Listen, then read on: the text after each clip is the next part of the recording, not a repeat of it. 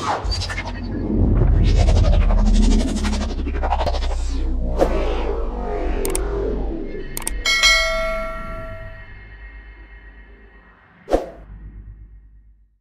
Hello everyone, welcome. My name is Adam J Pestridge. Welcome to another P3D video. Um, today I'm going to quickly, this is a very quick video, show you how to fix this error. Um, if you come across uh, this where it doesn't actually load anything, now this should actually begin instantly going to 1%, 2%, whatever.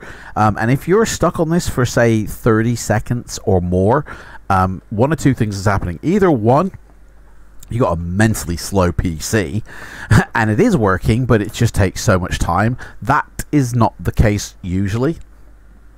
The second one is that you've actually got an error in your scenery library and it can't actually load the scenery library according to the indexes um, and you can find out if it's actually doing anything by going into your task manager and looking for the Lockheed Martin line and looking at the disk. And as you can see there's nothing happening on the Prepar3D version 5 disk. It's dead. So this should actually be moving. This should be transferring data. Um, it's kind of stuck on the memory as well, and the CPU's even given up on it. It's trying, but it's, it's just given up basically. And that's because there is an error in the scenery library.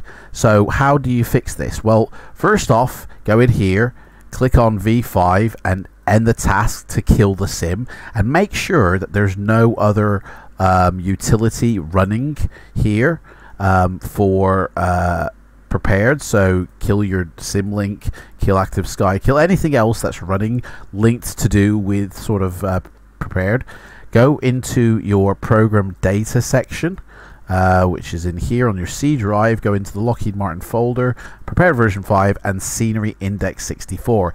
And basically, all you have to do is delete everything in this folder. Now, if you have the black marble control panel because you've you know purchased black marble base, there is an even easier way, which basically all you have to do is load up the control panel and click rebuild index. I also recommend clicking flush direct X cache.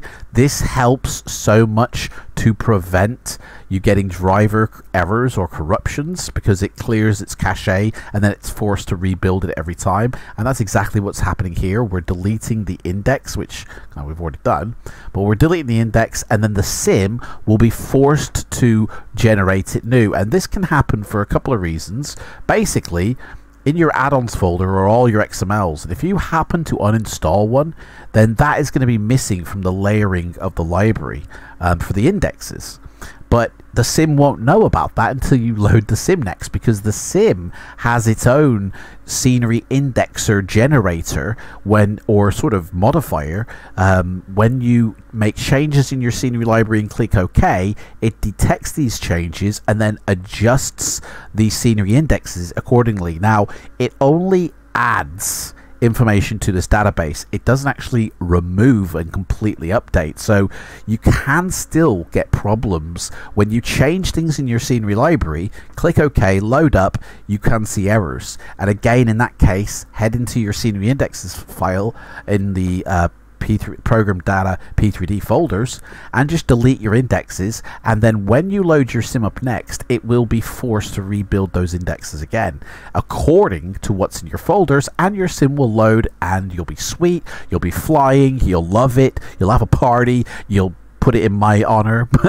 But your sim will be fine. It won't have locked out basically. And that is the problem with this is that your sim can lock out if your scenery library is corrupt um, in fact, I do recommend there is a certain way that you order your scenery library. Anyway, guys, thank you so much for watching this video. Don't forget I do a Sim Market giveaway for 50 euro Sim Market vouchers to one lucky winner every month on my channel. To be in with the chance, all you have to do is be a subscriber on my channel and leave a comment down in P3D videos. And the last Friday of every month, I will go live um, on YouTube and announce the winner at the end of that stream.